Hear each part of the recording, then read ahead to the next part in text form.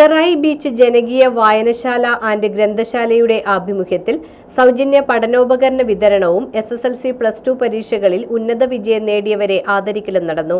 പള്ളിപ്പുറം ഗ്രാമപഞ്ചായത്ത് പ്രസിഡന്റ് രമണി അജയൻ ഉദ്ഘാടനം നിർവഹിച്ചു.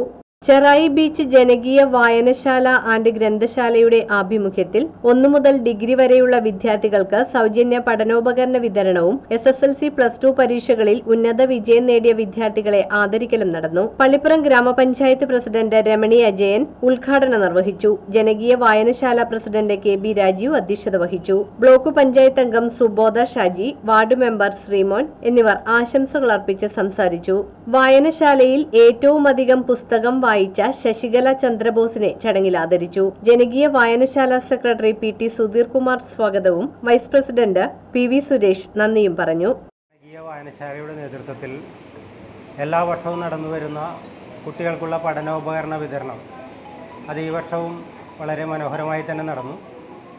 നമ്മുടെ പ്രസിഡന്റ് പറഞ്ഞ പോലെ വിവിധ തരത്തിലുള്ള ആളുകൾക്കുള്ള വായനാ സൗകര്യവും അവർക്ക് ആവശ്യമായ ബുക്കുകളും റെഫറൻസ് ഗ്രന്ഥങ്ങൾ ഉൾപ്പെടെയുള്ള ബുക്കുകളെല്ലാം ഇവിടെ സജ്ജീകരിച്ചിട്ടുണ്ട്. എല്ലാവരും അത് വളരെയധികം പ്രയോജനപ്പെടുത്തണമെന്നാണ് പറയാനുള്ളത്.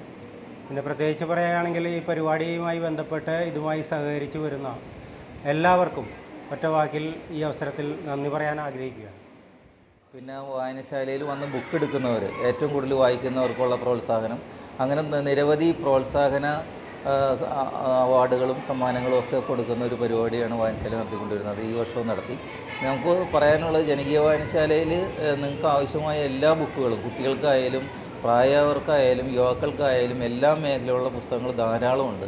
ആർക്ക് വേണമെങ്കിലും വന്ന് ഇവിടെ നിന്ന് വായിക്കാവുന്നതാണ്. അതിനുള്ള എല്ലാ സജ്ജീകരണങ്ങളുണ്ട്.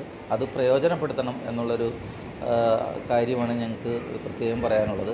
ഇതിൽ ഇതിൽ പങ്കെടുത്ത മുഴുവൻ പേരെയും ഞങ്ങൾ